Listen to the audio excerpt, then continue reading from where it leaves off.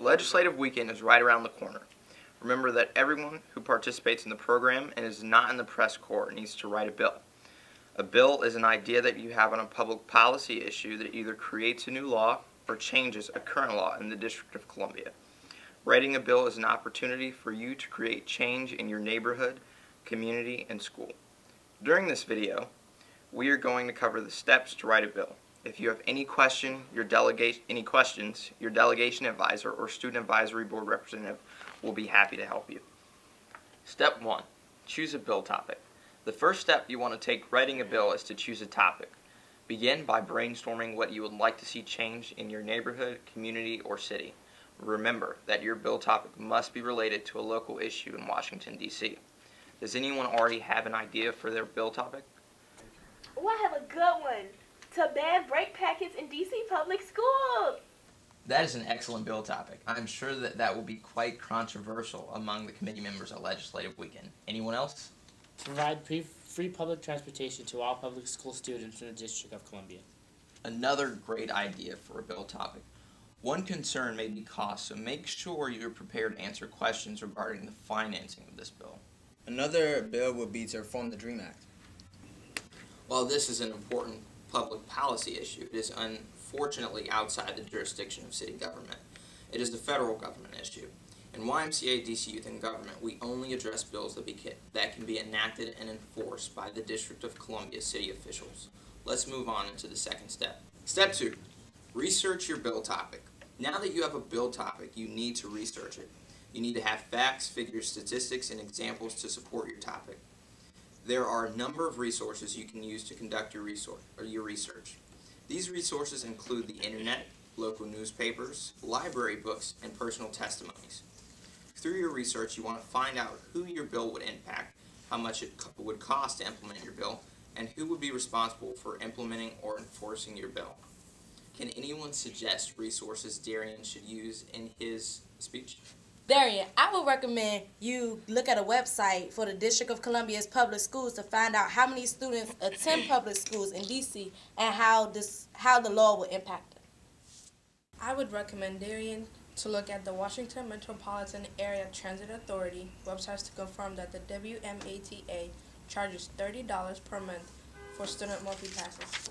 I will look at the Washington Post to find recent articles about the proposed metro fare increases in order to gauge public opinion on the issue.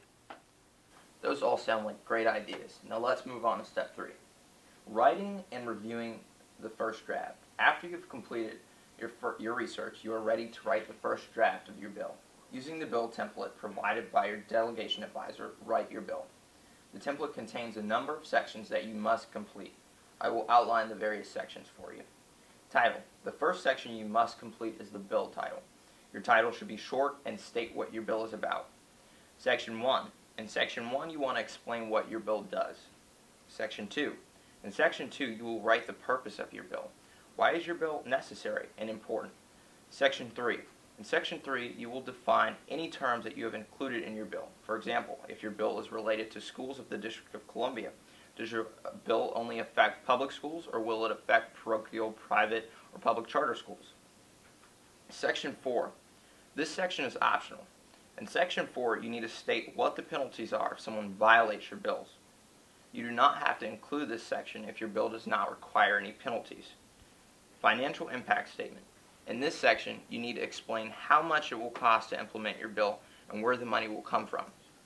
You can you may find it helpful to review the District of Columbia's budget in order to complete this section. Effective date. Finally, in this section, you must state when your bill will take effect. You may decide that you want your bill to take place immediately after passage, or you may want to implement your bill at a later date. That is up to you. Keep in mind that you do not need to include all of your research in your bill. You can use some in your research in your opening and closing statements. Once you have completed your first draft, Give your bill to your delegation advisor for review. They will proofread your bill for errors and offer suggestions. Now we will move on to step four, writing the final draft and submitting your bill. Once you receive your edits and feedback from your delegate, delegation advisor, it is time for you to write your final version. Your bill should be in the same format as the bill template. Do not worry about completing the committee section. This section will be completed by the YMCA DC Youth and Government Program staff. Once you have written your final draft, find out from your delegation advisor how you should submit the bill. They may ask you to turn in the bill into them, or they may ask you to submit the bill online. The fifth and final step is preparing for debate. I would recommend that each of you select two or three prominent speakers such as Malcolm X, President John F. Kennedy, or Denzel Washington and watch or listen to several of their speeches. While you are watching or listening, pay attention to their body language, voice projection, diction, and eye contact. Practice delivering your opening arguments using these techniques. I hope you find this video helpful as you start to research and write your bills. We can't wait to see you at Legislative Weekend.